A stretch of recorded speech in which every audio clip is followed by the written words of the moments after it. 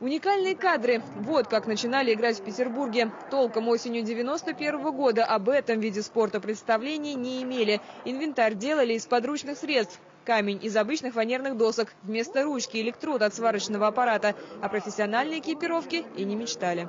Я была э, той первой сумасшедшей женщиной в России, которая начала заниматься этим видом спорта. Не было никакой специальной обуви, брали обыкновенные кроссовки, брали от горнолыжных э, лыж вот эту вот подошву, ну, которую вот, э, приклеивали ее к ботинку спортивному и начинали так. А, что такое щетки мы не знали. За четверть века все поменялось. Достать профессиональное снаряжение теперь не проблема, как и найти площадку с особенным ледовым покрытием. Температура поверхности минус 5. Это обязательно. А сборная России подумать только чемпион Европы. В ее составе трое петербурженок, две спортсменки и тренер Ирина Колесникова. Свип!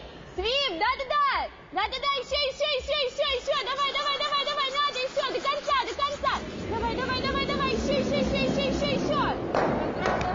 Виктория Моисеева – главный человек в команде, скип или капитан. Она ставит задачу на льду. Например, доставить камень весом, между прочим, в 20 килограммов как можно ближе к центру круга. Или наоборот, отодвинуть камень противника подальше от выгодной позиции. Линия стратегическая должна быть одна. Конечно, если команда попадает в трудную ситуацию, например, то о стратегии уже э, не ведется речь, там именно тактика. То есть э, э, приходится команде решать уже по месту, что делать.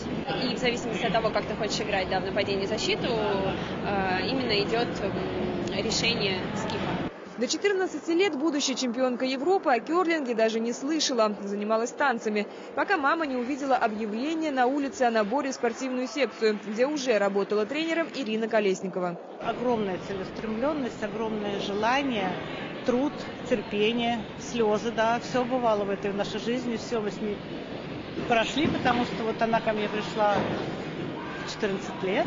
И вот до сих пор мы с ней вместе. Пройдено очень много. Студентка университета имени Лезговта Ульяна Васильева кюрлингом также стала заниматься случайно. В команде, где играла подруга, состав был неполным, а поехать на турнир очень хотелось. Один телефонный звонок решил проблему. Позвонила, сказала, надо человека, хочешь попробовать? Я сказала, хочу собрала за два часа чемодан и уехала на соревнования. Не знаю куда, что, что надо делать. И так вот поехала, и все, и осталась. В российском керлинге, как в футболе, борьба за первенство, противостояние Москвы и Петербурга. До недавнего времени в составе национальной сборной были только представительницы столичных команд. Сейчас ситуация поменялась. Трудяги, молодцы, э, много думает, много над собой много работает, не останавливается в развитии очень много спрашивают. Я уже даже теперь не знаю, по-моему, они уже больше меня уже знают, наверное.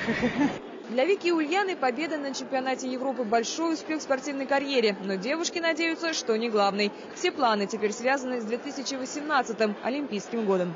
Людмила Бурим, Владимир Абухович, Денис Смирнов, Андрей Романов. Вести, Петербург.